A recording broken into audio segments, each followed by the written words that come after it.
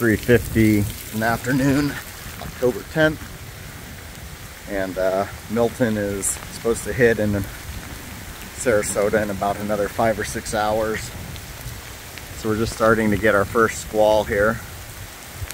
Well, we had we had a small squall yesterday, but um, not the the main storm. But uh, yeah, the main bands are coming in now, and my bananas are already underwater. So it's going to get interesting.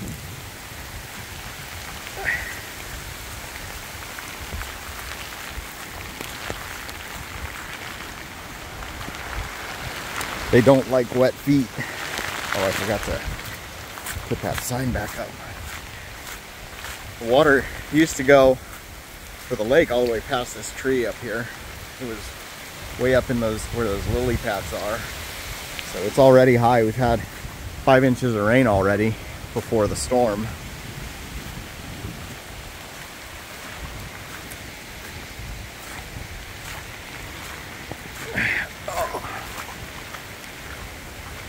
I did board up on the